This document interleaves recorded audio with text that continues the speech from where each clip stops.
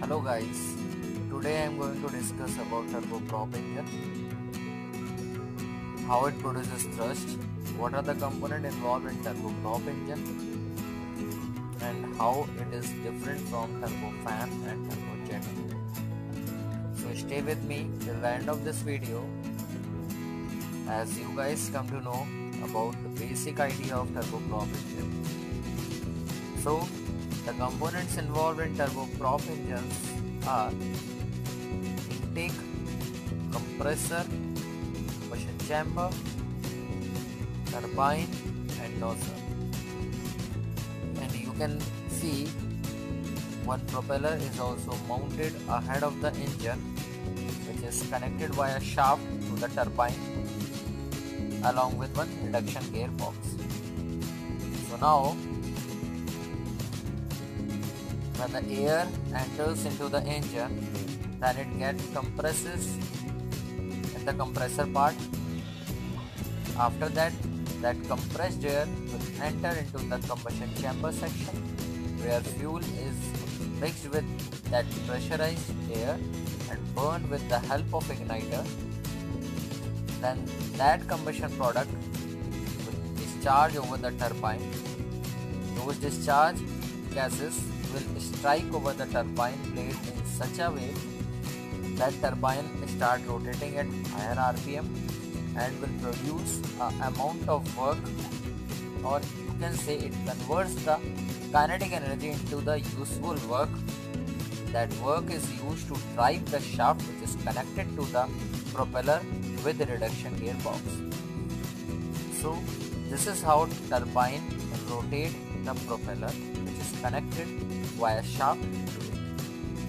And then the exhaust gases will leave the engine at some velocity.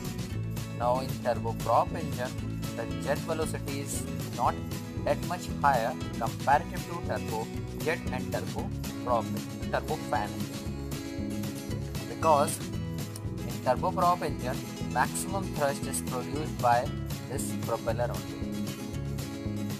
Unlike in turbofan, you are getting maximum thrust with ducted fan and in turbojet engine you are getting thrust with high jet velocity.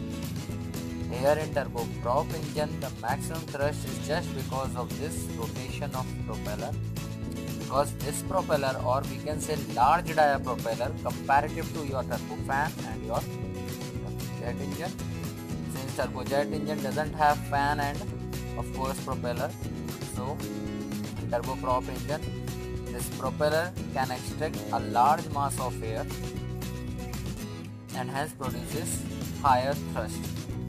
Only 10% of thrust is produced by core part of this engine. So jet thrust is not critical in case of turboprop engine. And one thing you can see comparative to turbojet engine we have placed reduction gearbox in turboprop engine. Why is it so? Because in turboprop engine the expanded gases from the turbine is allowed to discharge through the nozzle and the turbine will get higher rpm and as turbine will produce work that work is used to drive the propeller directly. So if the RPM of a turbine will be higher then it may cause damage to the propeller directly because propeller blades have some aerodynamic limitation and at higher velocity or at higher altitude they can't be efficient as they are efficient at lower altitude and lower velocity of air. So if the RPM of turbine will be much higher then they may cause damage to the propeller blade. So in order to control the RPM of the propeller the reduction gear is placed between the turbine shaft and the propeller such that propeller efficiency is improved and the maximum propulsive efficiency is produced by turboprop engine comparative to turbofan and your turbojet engine. Now there is no point of thrust reversal in case of turboprop engine because possibility of reverse thrust can be produced by changing the blade angle in case of turboprop engine.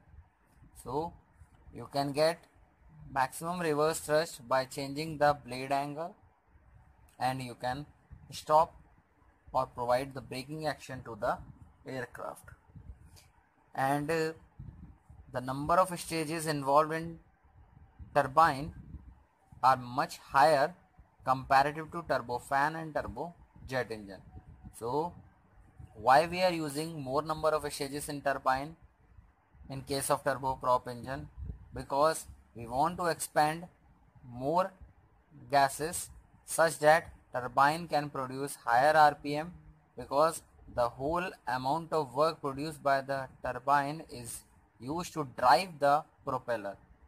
So higher the RPM, higher the rotation of propeller.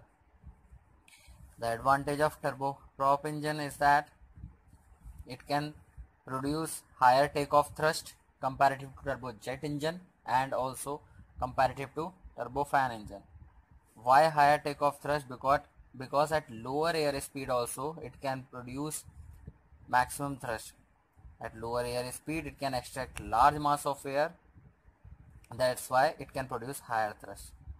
So guys I think you get some idea about turboprop engine and if some some points which I will discuss later. So thank you so much for this. Guys don't forget to like and subscribe. Thank you.